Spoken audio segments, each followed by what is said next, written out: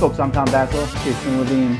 And there's been a lot of uh, important things that have happened in history, but one of the most interesting and scariest is the 13 day Cuban Missile Crisis, in which the world stood on the brink of World War III with nuclear weapons. I don't believe either of us was alive when this happened. No, I wasn't either. Okay, just just checking. Um, and but I'm a big fan of historical games, but I'm always a little nervous because a lot of historical games are extremely complex, or sometimes or they sometimes go to the other extreme and gloss over everything. This one caught my eye because a lot of people were talking about it and saying things like, "This is the uh, it's twi- it's Twilight Struggle but fast." And Twilight Struggle is like in my top 30 games. I think it's pretty high for you too, Yeah, right? Twilight Struggle is the Cold War game, and in fact, um, it was President Kennedy who first started the, using the Cold War term Twilight Struggle, which is how they named Twilight Struggle, and now President Kennedy is obviously involved, was involved in 13 Days as well. All right, well, this is from Jolly Roger Games. They're not often known for making um, that many games. I mean, they make a few games. They do make historical games. They make a few of them, but this I, I wasn't expecting this type of game from them. Let's see if it's any good.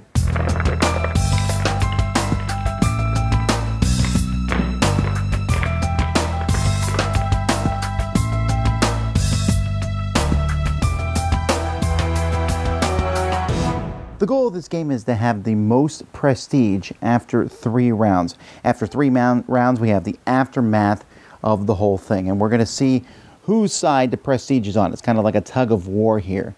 At the beginning of each round, you're going to look. There's three DEF CON tracks here.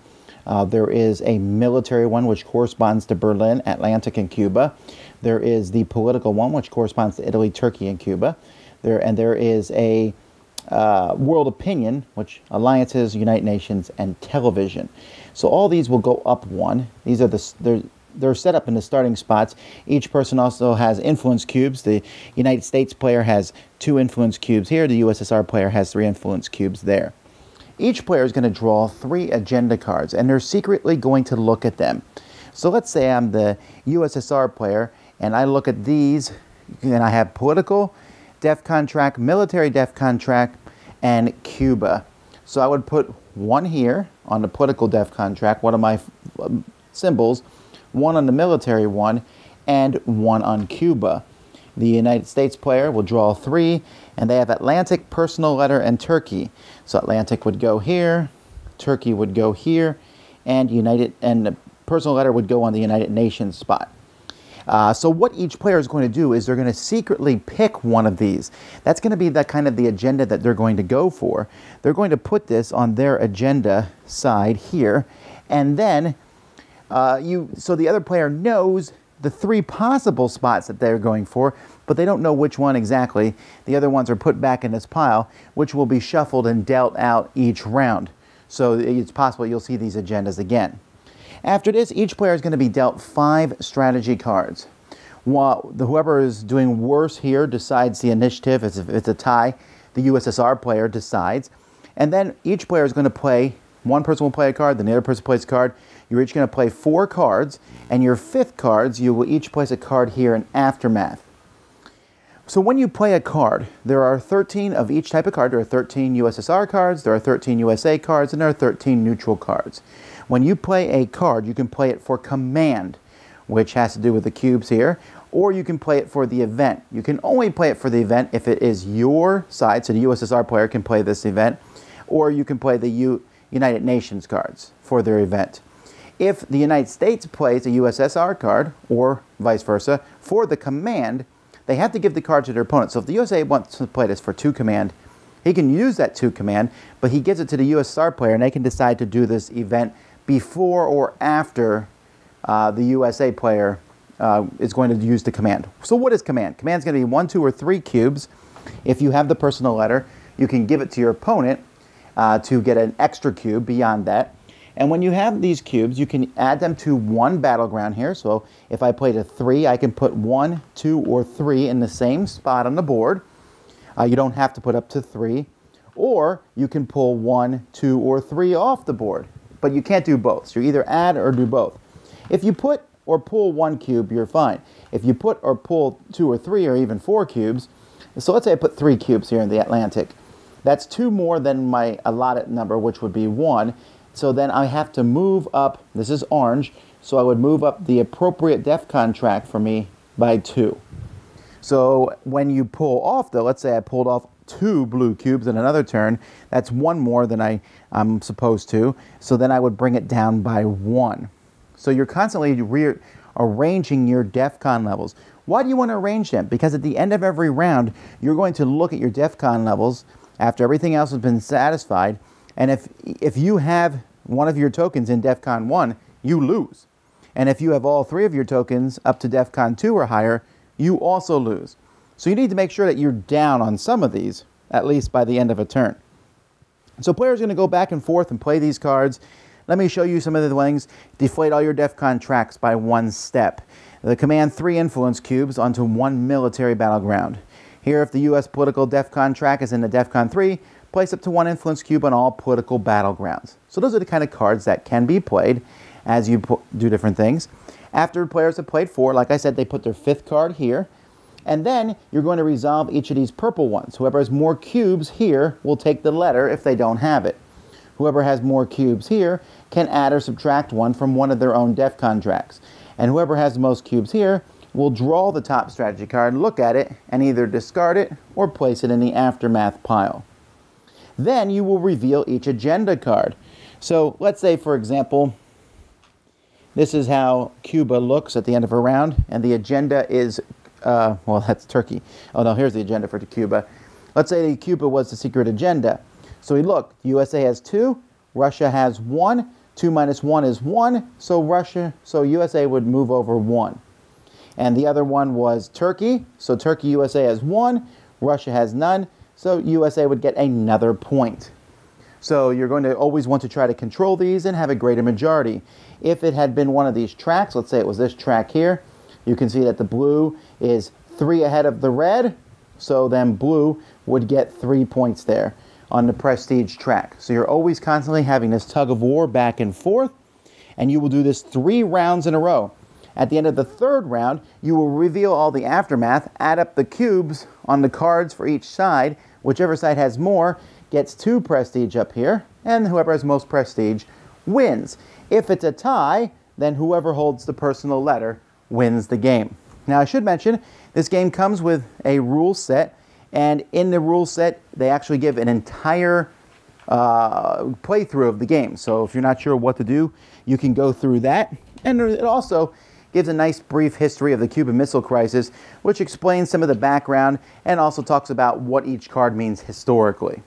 Okay, so first of all, I was kind of impressed with the speed of the game. It is not a long game. It says 45 minutes, and I think even if you carefully think over your actions, like really think, it will be 45 minutes. Yes, even less. I think you could probably play this in 30 if you sat down and knew the rules. It's a quick game, and it packs a lot of meat in that time. It's not, oh, it's a quick game, it glosses over. This packs a lot of meat. There's a lot of choices in it for a game that's light or lighter on the card driven game end, and I think that it works very well.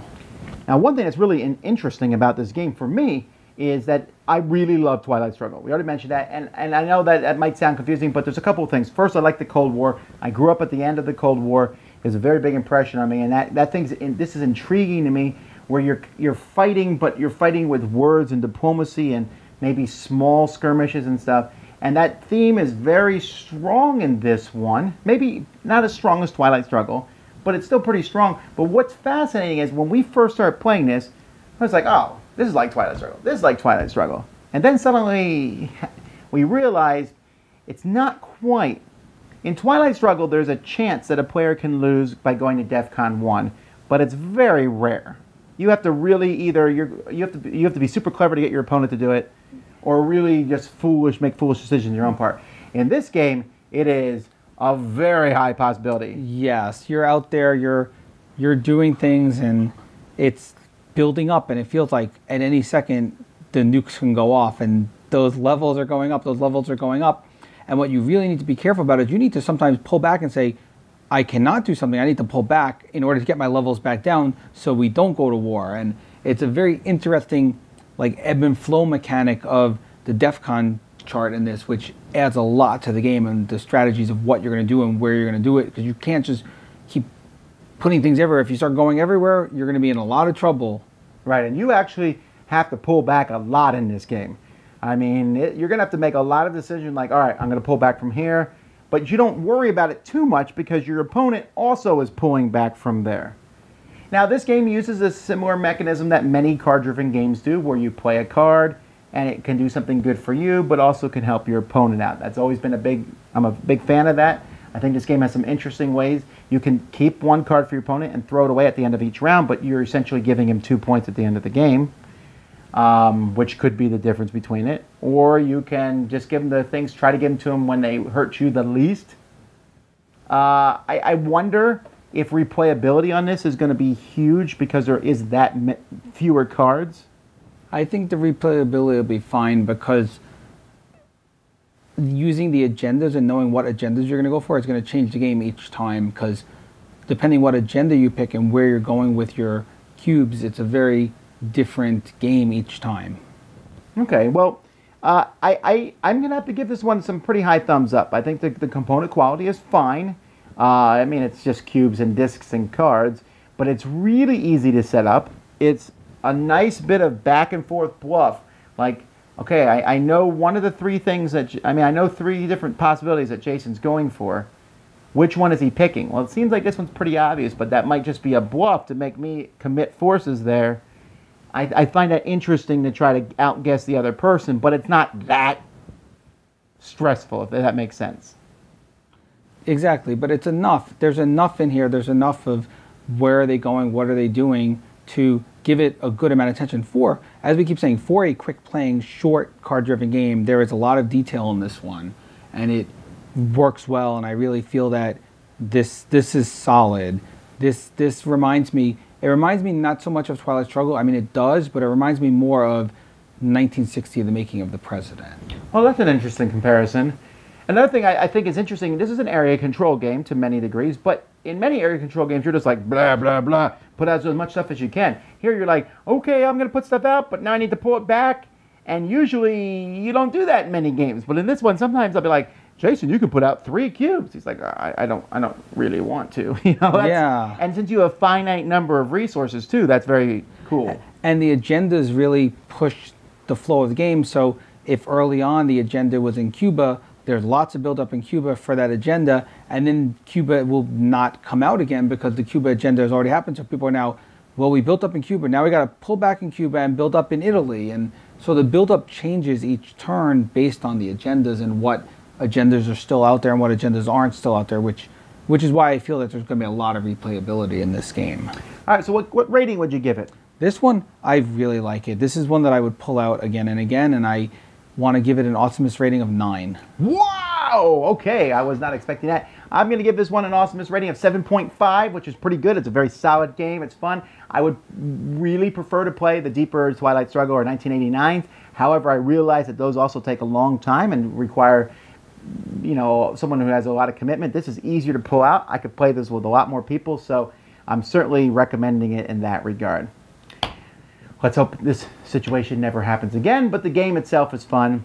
13 days. Yep, next time we go to Cuba, it'll be hopefully on a vacation now that they're opening those ports. All right, until next time, I'm Tom Vasel. Jason Levine. And you've been watching 13 Days at the Dice Tower.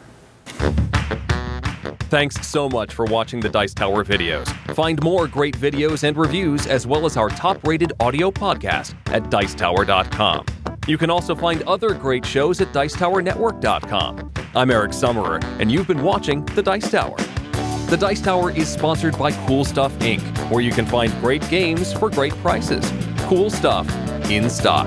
Check them out at CoolStuffInc.com.